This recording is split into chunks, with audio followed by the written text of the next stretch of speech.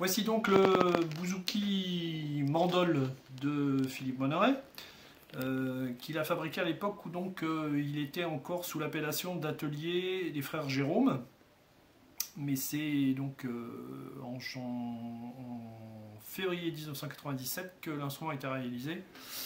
Donc il est en, il est en érable, un très très bel érable ondé. Voici la caisse sur l'arrière avec des éclisses euh, aussi en érable et un manche aussi en érable.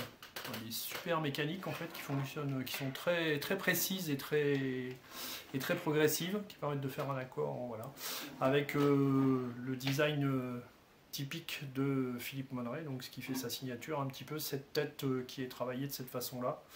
Voilà, donc là le diapason est de 54 mm, d'un 54 cm exactement et il est accordé en sol ré la mi.